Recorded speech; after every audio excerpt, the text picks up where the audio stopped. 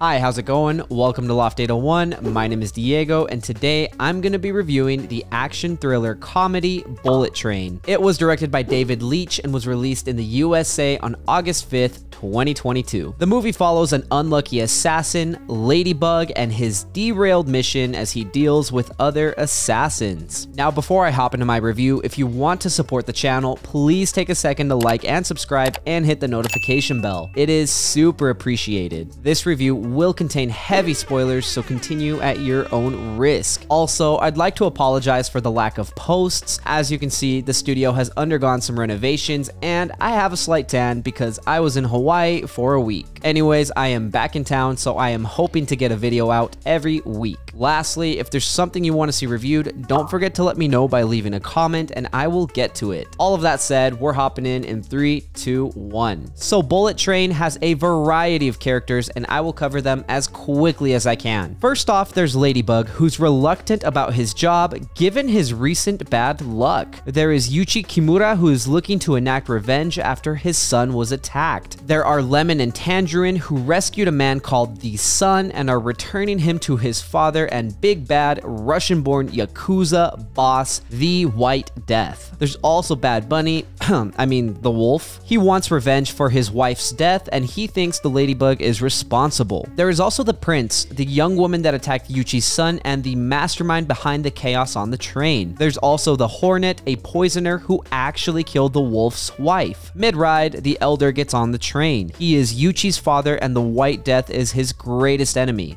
Lastly, there's Maria Beetle, Ladybug's handler. So now that you know each chess piece, let's talk about the plot. Yuichi gets on the train to find the attacker, and Ladybug must grab a briefcase of cash from the train. Lemon and Tangerine are taking the son and the briefcase to the White Death. On the way, the son gets poisoned. The wolf arrives and attacks Ladybug and accidentally kills himself. Yuichi finds the prince and is overpowered. Ladybug and Lemon fight. Ladybug and Tangerine fight. Lemon shoots Yuichi. Ladybug fights the hornet and kills her. Tangerine finds the prince and is about to kill her, but Ladybug kills him. The elder boards the train. He tells Ladybug that the prince is evil and he tells him about her true motivations. Now, if you want to know what her motivations are, watch the movie for yourself. The Elder, Ladybug, and Yuichi fight the White Death while the train pulls an Ozzy Osbourne. The White Death and the prince both die, and Ladybug, Yuichi, the Elder, Maria, and Lemon survive. The end. Honestly, I had so much fun watching this movie. Now, it was far from a perfect movie and had plenty of room to improve upon, but I thought it was a well-rounded movie. I thought the plot was fun and over the top, and I enjoyed seeing how each character came together to unravel the mystery of what was going on. Speaking of characters, they are what really made this movie stand out to me. I loved Brad Pitt's Ladybug. He's a reluctant hero, and it's funny how his bad luck is what saves him in nearly every situation he's in. I also loved seeing Bad Bunny as the wolf. His backstory was so cool, and I thought it was funny how he was built up just to die by his own hand. Michael Shannon and Hiroyuki Sanada as the White Death and the Elder were also an interesting combination. Seeing them face off reminded me of older martial arts movies. I also enjoyed Zazie Beetz as the Hornet and I wish we could have seen another female assassin kicking butt. Joey King, Andrew Koji, Logan Lerman, and Sandra Bullock all did good jobs, but their characters weren't as cool or as interesting. However, the two standouts in the film were Brian Tyree Henry as Lemon and Aaron Taylor Johnson as Tangerine. The chemistry between these two is phenomenal. They take Brother from Another Mother up a notch. I loved Lemon's Thomas the Train stickers and Tangerine's annoyance with him. I also loved how they have a brotherly bond where they get mad at each other but still fight together as a team. That's love. Now, I do have to admit that I am a bit biased with my love towards Tangerine. One, because Aaron Taylor Johnson is a handsome guy, and two, less than an hour after watching this movie, a random kid at the mall called me Tangerine. Now, whether I look like him or not, my day was made, son. When it comes to themes, I don't think there's any real meaning in this film. It's just a fun movie. However, if we really want to stretch and try to find some meaning in this film, then I guess we can say it's about luck and fate. I think the Elder sums things up nicely when he tells Ladybug, bad luck protects you from a worse fate. In other words, what you think is bad luck is actually good luck. In Ladybug's case, his bad luck is what saved his bacon the entire movie. It's kind of interesting to me because I feel like every character had a connection to luck, fate, and karma throughout the film, but I don't want to dive too deep into that. Just enjoy the movie for what it is a fun, goofy, over the top action thriller. Considering the direction and pace, this is where I think the movie could have used some improvement. The movie ran for 2 hours and 6 minutes, which isn't bad because the movie is enjoyable, but Lemon's Thomas the Train stickers were definitely overused. There were several lengthy sequences as he explained why he used the stickers and views and categorizes people through their lens. The first time he does it, it's funny. The second time he does it, it's still funny, but the humor is waning. The third time he does it, it's like, come on, dude, wrap it up and get back to the action. Other than that, I didn't really have any major complaints about the direction and pace of this movie. I thought the score, soundtrack, and dialogue were all great. I say this in a lot of my reviews, so I'm gonna gloss over it, but I thought the score and soundtrack helped invoke the correct emotions I needed to experience throughout the film. The dialogue was fun and helped add to the campiness of the movie. Alright, that's enough, I'm moving on. I thought the cinematography was great. Despite being constrained to a bullet train, the movie had some creative angles and close-ups that helped make the train feel simultaneously spacious and constrictive, helping keep things fresh. The backstories of several characters introduced different environments and settings